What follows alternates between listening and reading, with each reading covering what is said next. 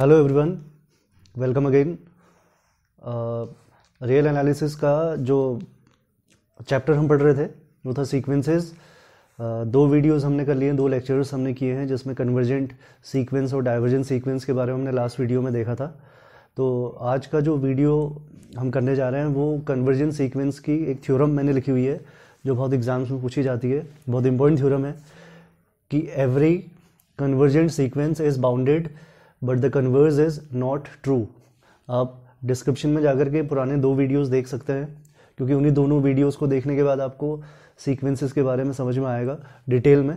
तो convergent sequence की अगर हम बात करें डेफिनेशन में हमने देखा था कि किसी भी सीक्वेंस ए एन को हमने कन्वर्जेंट बोला था। कन्वर्जेंट का मतलब क्या था कि अगर कोई भी सीक्वेंस हमने निकाला a one a two a three अगर ये जो वैल्यूज़ हैं, एक पर्टिकुलर फाइनाइट वैल्यू की ओर टेंड हो रही थी, ये सीरीज़ अगर तो उस केस में इसको कन्वर्जेंट बोला था हमने। अगर ये वैल्यू किसी इन्फिनिटी इन्फाइनाइट वैल्यू की ओर टेंड होती है तो उस केस में इसको डाइवर्जेंट बोलते हैं। तो अगर हम बात करें, ये मैं एक जनरल आइडिया आपको दे रहा हूँ कन्वर्जेंट का। आपको बुक्स में डेफिनेशन के अकॉर्डिंग अलग अलग कन्वर्जेंट की डेफिनेशन मिलती रहेगी। एक जनरल आइडिया मैंने आपको दिया अभी। कन्वर्जेंट की डेफिनेशन हमने देखी थी कि ये जो सीक्वेंस है, ये एल की ओर कन्वर्जेंट कब हो रहा था? जब हमने ए एन माइनस एल निकाला था तो ये लेस देन एप्साइलन आ रहा था। For all n greater than equal to m काफ़ी डिटेल में मैंने आपको एक्सप्लेन किया था न्यूमेरिकल भी कराए थे।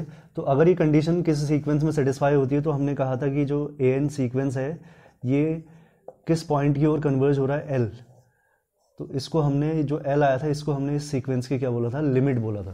तो ये हमने इसके पिछले वीडियो में देखा था। तो आपको ये प्रूव करना है कि अगर कोई भी सीक्वेंस कन्वर्जेंट है तो वो बाउंडेड होगा। लेकिन अगर सीक्वेंस बाउंडेड है तो कन्वर्ज हो, ऐसा ज़रूरी नहीं है। तो पहला केस हम ये मान के चल रहे हैं। पहले स्टेटमेंट को देखते हैं। हम ये मान लेते हैं कि let n be a convergent sequence ये मान लिया हमने कि ये सीक्वेंस कन्वर्जेंट है और सीक्वेंस कन्वर्जेंट है तो इसकी कोई ना कोई लिमिट आएगी। तो हम ये मान लेते हैं कि let the limit of this sequence is l for all n greater than equal to m इसका मतलब मैंने आपको बताया था पिछले वीडियो में कि जो सीक्वेंस है a one a two a three होगा क्या? ये सीक्वेंस में जब हम जैसे जैसे आगे बढ़ रहे थे तो जो वैल्यूज़ के बीच में डिफरेंस था वो कम होता जा रहा था। तो एक कोई ना कोई ये जो ए वन है, ये एन की वैल्यू वन रखने पे हमको वैल्यू मिली है। एन की वैल्यू हमने टू रखी है तो फिर ये ए टू हमको मिला है। तो एन ये सारे की सारी वैल्यूज़ हमको एन के डिफरेंट डिफरेंट वैल्यूज़ रखने के बाद ही हमको ये सारी वैल्यूज़ मिली है। तो एन की कोई ना कोई वैल्यू ऐसी मिलेगी आपको, जिसके बाद आपका जो कंजिकेटिव टर्म्स का डिफरेंस है, वो बहुत ज़्यादा कम आएगा। और बहुत ज़्यादा कम आएगा मतलब एफ़ से छोटा आएगा, जो मैंने डेफिनेशन में आपको बताया था। तो ये यहाँ पे इस एम का मतलब है कि एम के बाद ये जो सीक्वेंस है, ये कन्वर्ज होना स्टार्ट हो गया है। एम एक ऐसी वैल्यू होगी एन की, जहाँ से ये सीक्वेंस जो है, वो कन्वर्ज होना स्टार्ट हो गया किस पॉइंट की ओर? एल की ओर। तो by definition there exist epsilon greater than zero such that क्या होगा कि ये जो ए एन माइनस एल है, ये किससे छोटा आ रहा था? एप्साइलन से फॉर ऑल ये डेफिनेशन थी। अब हम ये मान लेते हैं कि जो एप्साइलन है, उस एप्साइलन को एक पर्टिकुलर वैल्यू की हम कंसिडर कर लेते हैं और उस वैल्यू को कंसिडर करने के बाद आगे का सॉल्यूशन हम करेंगे। तो हम ये मान लेते हैं कि एप्साइलन जो है let epsilon is equal to one मान लिया मैंने। कोई भी वैल्यू कंसिडर कर सकते हैं आप। ज़रूरी नहीं है कि हम वन कंसिडर करें, आप हाफ़ भी कंसिडर कर सकते हैं।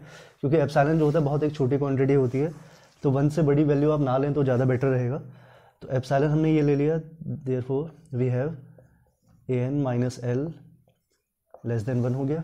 अगर ये मॉड हटता है तो आपको पता है क्या होता है? Minus one less than a n minus l epsilon हटा मॉड हटा दिया मैंने। तो ये एल तीनों में अगर हम ऐड करेंगे तो l minus one a n और एल प्लस वन तीनों में एल ऐड कर दिया। अब इस इक्वेशन को ध्यान से देखिए आप। इस इक्वेशन का मतलब क्या है?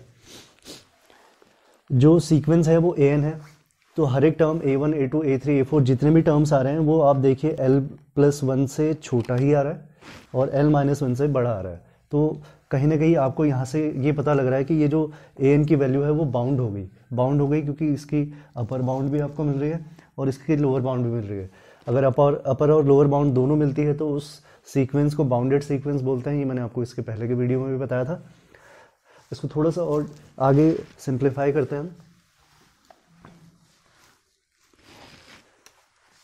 लेट के जो है maximum of a one a two a m minus one और एल प्लस वन क्योंकि ए एन जो है ए एन क्या है? सीक्वेंस है। A one a two a three a four ये सारी इसकी वैल्यूज़ होंगी।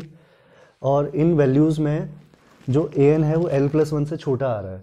हो सकता है कि इनमें कुछ और वैल्यूज़ ऐसी आपको मिल जाएँ जो पूरा सीक्वेंस हमारा था। उस सीक्वेंस में जो सबसे बड़ी वैल्यू है, उस बड़ी वैल्यू को हमने कैपिटल के मान लिया। एंड स्मॉल के हमने मान लिया minimum of a one a two a m minus one और एल माइनस वन। इसमें जो सबसे बड़ी वैल्यू है, उसको हमने कैपिटल के मान लिया। इसमें जो सबसे छोटी वैल्यू है, उसको हमने स्मॉल के मान लिया। अब आप फिर से इक्वेशन टू में आइए। नाउ फ्रॉम टू जो ए एन था, उस ए एन की अगर हम बात करें तो वो a n l plus one से छोटा आ रहा है। तो हो सकता है एल प्लस वन इसमें सबसे बड़ा रहा हो। या फिर एल प्लस वन से कोई और वैल्यू सबसे बड़ी वैल्यू मिल जाएगी तो ये जो ए एन है, वो कैपिटल के से छोटा आ जाएगा और स्मॉल के से बड़ा आएगा। और इसका क्या मतलब है कि जो सीक्वेंस हमारा ए एन है, उस सीक्वेंस का हर एक टर्म कैपिटल के से छोटा है और स्मॉल के से क्या है, बड़ा है। तो इसका क्या मतलब हुआ कि जो हमारा सीक्वेंस हमको दिया हुआ था, क्योंकि इसकी मैक्सिमम और मिनिमम वैल्यू हमने लिए तो यहाँ पे इक्वल टू का साइन भी लगाना पड़ेगा हमको। तो it means sequence a n is bounded तो हमने सीक्वेंस कन्वर्जेंट लिया था तो कन्वर्जेंट अगर सीक्वेंस है तो वो सीक्वेंस बाउंडेड होगा। ये हमने यहाँ पे प्रूव किया। अब इसका कन्वर्ज जो है, वो ट्रू नहीं होगा, ये हमको प्रूव करना है। तो हम एक सीक्वेंस ले लेते हैं। A n equal to minus one की पावर एन इस सीक्वेंस को अगर हम देखें तो माइनस वन फिर वन फिर माइनस वन फिर वन तो आप देखिए सीक्वेंस जो है बाउंडेड तो है। क्यों? क्योंकि इसकी सबसे बड़ी वैल्यू प्लस वन है, सबसे छोटी वैल्यू माइनस वन है। तो इसका मतलब ये बाउंडेड तो है। लेकिन आप इस सीक्वेंस में देखिए सीक्वेंस की सिर्फ़ दो वैल्यूज़ आ रही हैं, या तो माइनस वन या फिर प्लस वन और किसी भी सीक्वेंस को कन्वर्जेंट सीक्वेंस कब कहा जाता है? जब वो सीरीज़ आगे बढ़ते बढ़ते किसी पर्टिकुलर वैल्यू की ओर टेंड हो जाए। ये वैल्यू आगे बढ़ते, जितने भी आप टर्म्स बढ़ाते रहेंगे, आपको या तो प्लस वन मिलेगा आंसर या फिर माइनस वन तो एक पर्टिकुलर वैल्यू की ओर ये सीरीज़ टेंट नहीं हो रही है तो इसका मतलब here does not exist any epsilon greater than zero such that कि हम ए एन माइनस एल निकालें और एप्साइलन से छोटा आ जाए for all n greater than equal to m ऐसा कोई भी आपको एप्साइलन यहाँ पर नहीं मिलने जा रहा है, क्योंकि जो सीक्वेंस है, उसमें हर एक टर्म के बाद या तो माइनस वन आ रहा है या प्लस वन आ रहा है तो जो सीरीज़ है, एक पर्टिकुलर टर्म की वो टेंड नहीं हो रही है। तो it means therefore the sequence a n is not convergent इतना आपको लिखने की ज़रूरत नहीं, आप ऐसे भी डायरेक्टली समझ सकते हैं कि जो सीक्वेंस है, या तो कन्वर्जेंट उस सीक्वेंस को तभी बोलते हैं जब हम उसके आगे के टर्म्स को बढ़ाते जाएँ तो एक पर्टिकुलर लिमिट के बाद जो कंजिकेटिव टर्म्स हैं, उनका जो डिफरेंस है, वो बहुत कम होता जाता है। लेकिन यहाँ पे ऐसा गया है स्टार्टिंग से जो डिफरेंस है, वो थ्रू आउट पूरी सीरीज़ में वही रहना है। आप चाहे कोई भी टर्म इसमें ले लें तो ये सीक्वेंस बाउंडेड तो था, लेकिन कन्वर्जेंट नहीं आ रहा है। तो थ्योरम बहुत इंपॉर्टेंट है, इसको ध्यान से आप समझिए। बार बार रिपीट करके अगर थ्योरम को समझेंगे तो तब आपको समझ में आएगी, क्योंकि इसका जो फ़र्स्ट पार्ट था कि कन्वर्जन सीक्वेंस इज़ बाउंडेड उसको थोड़ा ध्यान से समझने की ज़रूरत है यहाँ पे। कन्वर्जन सीक्वेंस के कुछ न्यूमेरिकल्स और देखते हैं हम अभी। कुछ न्यूमेरिकल्स मैंने यहाँ पे लिखे हुए हैं जिसमें आपको हर एक क्वेश्चन का लिमिट का आंसर निकालना है। ये सारे के सारे सीक्वेंसेज आपको दिए हुए हैं। Uh, कहने का मतलब ये है कि ये जो सीक्वेंस है इस सीक्वेंस को आपको प्रूव करना है कि कन्वर्जेंट है किस पॉइंट की ओर टू की ओर। ये सीरीज़ ये सीक्वेंस थ्री बाई फोर ये सीक्वेंस वन बाई टू और ये सीक्वेंस टू की ओर कन्वर्ज हो रहा है। ये आपको प्रूव करना है लेकिन आपको यूज़ करना है डेफिनेशन का। तो डेफिनेशन का यूज़ अगर आपको करना है तो आपको पूरा सिस्टमेटिक तरीके से सॉल्व करना होगा। पहले के दो पार्ट में सॉल्व कर दे रहा हूँ, बाकी दोनों पार्ट्स आप सॉल्व करें उसी तरीके से, जैसे मैं इनको कराऊँगा। अच्छा अगर हम बात करें कि इस क्वेश्चन में अगर सिर्फ़ ये लिखा हो शो दैट दस अगर आपको सिर्फ़ ये प्रूव करना है कि limit n tends to infinity two n plus one upon n plus three अगर इक्वल टू टू सिर्फ़ ये प्रूव करना है, और ये वर्ड नहीं लिखा है कि आपको डेफिनेशन का यूज़ करके इसको प्रूव करना है। जैसे इस क्वेश्चन में मेंशन है कि यूज़ डेफिनेशन ये यूज़ डेफिनेशन ऑफ़ लिमिट्स अगर लिखा होगा तो आपको डेफिनेशन का यूज़ करके करना है। अगर क्वेश्चन में सिर्फ़ शो दैट ये लिखा हुआ है तो इस केस में आपको सिर्फ़ ये करना है कि आप इसमें से दोनों में से ऊपर नीचे एन कॉमन ले लीजिए। एन कॉमन लेंगे तो क्या आएगा? Two plus one upon n और ये आ जाएगा one plus three upon n limit n tends to infinity n से एन कैंसिल हो जाएगा। लिमिट लगाएँगे तो two plus one upon infinity zero three upon infinity zero कितना आ जाएगा टू तो बड़े इजीली आप इन क्वेश्चंस को सॉल्व कर सकते हैं, अगर सिर्फ़ शो दैट लिखा हुआ है तो. लेकिन यहाँ पे जो क्वेश्चन लिखा हुआ है, इसमें हमको डेफिनेशन का यूज़ करना है. तो डेफिनेशन का यूज़ करके हमको कैसे सॉल्यूशन निकालना होता है, ये आपको मैं पहले भी बता चुका हूँ. फिर दोबारा से मैं आपको यहाँ पे फिर से बता रहा हूँ. दो पार्ट्स क्या करना होता है हमको? पहले सॉल्यूशन में जो सीक्वेंस है ए एन वो है two n plus one upon n plus three. Now क्या निकालते हैं हम? ए एन माइनस एल निकाला था हमने। इसका मॉड निकाला था। ए एन है two n plus one upon n plus three. L क्या था? जो लिमिट आपको प्रूव करनी है, टू। तो ये हो जाएगा two n plus one minus two n minus six upon n plus three. Two n से टू एन कैंसिल हो गया, माइनस फाइव, यानी कि five upon n plus three.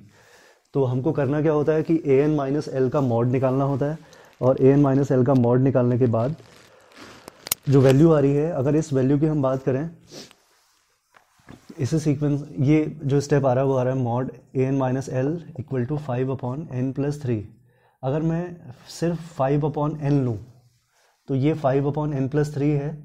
अगर आप बड़े नंबर से किसी नंबर को डिवाइड करो और छोटे नंबर से डिवाइड करो तो ये वाला टर्म जो है, इससे बड़ा आएगा। ये क्लियर है? कि ये जो ए एन माइनस एल है, वो इक्वल टू आ रहा था five upon n plus three और five upon n plus three जो है फाइव अपॉन एन से छोटा होगा। और इसको हमने मान लिया लेस देन एप्साइलन इसका मतलब अगर इसको मैं क्रॉस मल्टीप्लाई करूँ तो फाइव अपॉन एप्साइलन क्या हो जाएगा? लेस देन एन तो जो ए एन माइनस एल है, वो लेस देन एप्साइलन है। कब? जब फाइव अपॉन एप्साइलन किससे छोटा है? एन से। Let m is a positive integer सब मैंने आपको इसके प्रीवियस वीडियो में भी बताया था। Positive integer such that m हमने ले लिया greater than five upon epsilon कहने का मतलब यह है कि अगर एन की वैल्यू क्योंकि एन क्या है? एन क्या है? इसके जो सीक्वेंस है, उसके अलग अलग टर्म्स हम निकालेंगे तो एन की हेल्प से निकालेंगे। तो जैसे ही एन की वैल्यू इससे बड़ी हो रही है तो उस केस में ये सीरीज़ जो है कन्वर्ज हो जा रही है क्योंकि इसका जो मॉड है छो, छोटा आ रहा है एप्साइलन से। तो अगर एम को हम इससे बड़ा ले लें तो इसका मतलब एम एक पर्टिकुलर टर्म ऐसा हमने ले लिया जो एफ़ फाइव अपॉन एप्साइलन से बड़ा है। तो फाइव अपॉन एप्साइलन से अगर बड़ा है तो इसका मतलब एम के बाद जो इसका मॉड है वो एप्साइलन से छोटा आ जाएगा। इसका मतलब therefore a n minus l less than epsilon for all n greater than equal to m तो इट मीन्स ये जो सीक्वेंस है वो कन्वर्जेंट हो जाएगा और कन्वर्जेंट होगा तो limit n tends to infinity a n a n means two n plus one upon n plus three equal to कितना आ जाएगा? जो हमने एल लिया हुआ था। एल कितना लिया हुआ था हमने? एल हमने लिया हुआ था टू तो इक्वल टू कितना आ जाएगा? टू और यही हमको यहाँ पे प्रूव करना है इस क्वेश्चन में। तो आपको करना क्या है? जो सीक्वेंस आपको दिया जा रहा है, उस सीक्वेंस का जो एनथ टर्म है, उससे हमने जो लिमिट हमको प्रूफ करनी है, उसको माइनस करके उसका मॉड निकालना है और उसको एप्साइलन से छोटा प्रूफ करना है। और जैसे ही वो प्रूफ हो जाएगा तो वो जो सीक्वेंस है वो कन्वर्जेंट हो जाएगा। ये डेफिनेशन का यूज़ करके हमने निकाला है। ऐसे सेकेंड वाले में आते हैं।